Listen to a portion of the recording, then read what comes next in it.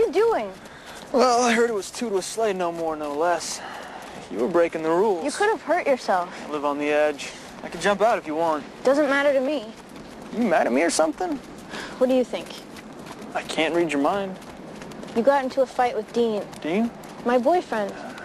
He's still your boyfriend. Okay, you can jump out now.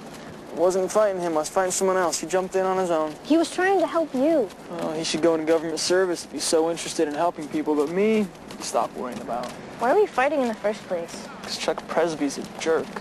You were fighting Chuck Presby? Yeah, Oh, he is a jerk. this whole town is weird and full of jerks. Then why are you still here? What do you mean? I mean, school's out, and you don't like it here, so why don't you just go home? My mom didn't want me to. I don't believe that. Unless you're right, I guess. Did Luke say she didn't want you to? Luke told me it was his idea that I should stay. It wasn't his idea. That's good. What?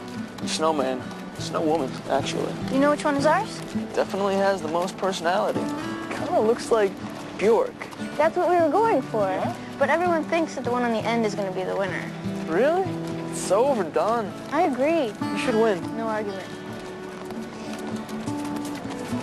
Hey, what do you and Dean talk about? What? I mean, does he know Bjork? I've played him some stuff. So you got a teacher-student thing going. Stop. No, really, I'm curious. What do you guys talk about? Everything. Like, Just everything. Tons of stuff. Whatever. it's just in the brief non-pugilistic time I've spent with him in class, it just doesn't seem like your kind of guy.